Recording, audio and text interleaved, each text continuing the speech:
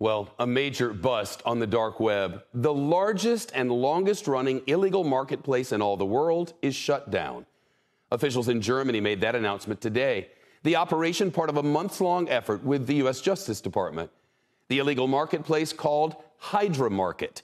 Officials say it's a Russian language site on the dark web. They say it sold illicit drugs, counterfeit currency, stolen information, and hacking services. Officials say they also seized 25 million bucks worth of Bitcoin from Hydra's servers.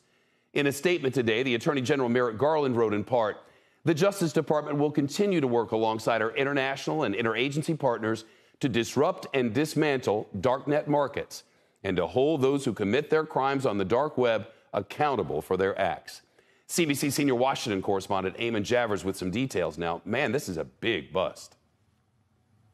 You know, it's absolutely huge, Shep. Hydra was launched back in 2015, and it served as a meeting place for criminals and their customers. The site's illicit revenue had been skyrocketing.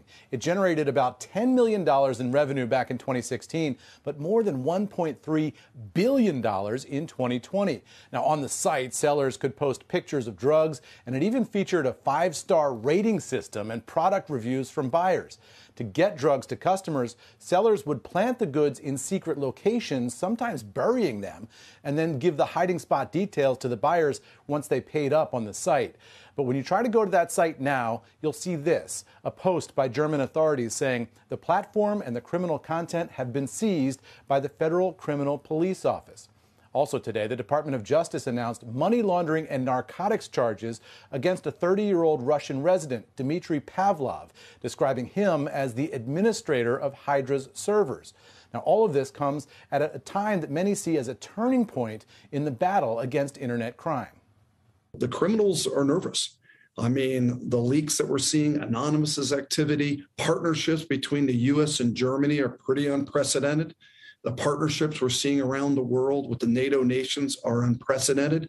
So we're watching a lot of ransomware activity drop off. We're watching a lot of espionage drop off. And the reason for it is they're nervous. What's more, the U.S. today sanctioned a Russian virtual currency exchange called Garantex, which the government said facilitated over $100 million in transactions associated with illicit actors. But although this is a big win for law enforcement, experts caution that these marketplaces are dynamic, and when one goes down, another one can quickly fill the void, Shep. All right, man. Thanks very much.